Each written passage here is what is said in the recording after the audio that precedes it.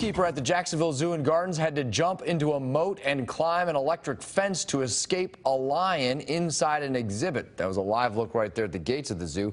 Tonight, that zookeeper is safe, but even the zoo director admits the lion was too close for comfort. I'm John Bachman. I'm Tanika Hughes. Action News Jax Courtney Cole is live at the zoo. And Courtney, the deputy zoo director says that an open door allowed that animal to get close to the zookeeper.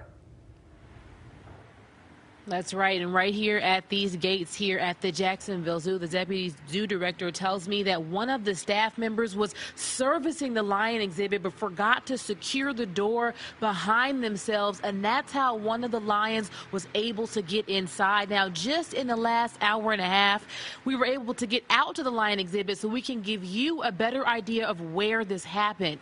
Once a second staff member realized the potential for danger, they were able to warn the person inside the exhibit. The deputy director told Action News Jax the staff member took one important step that could have helped save their life. It was because the staff member was alerted by another staff member, mm-hmm. and then they turned to face the animal. And, and big cats tend to attack from behind.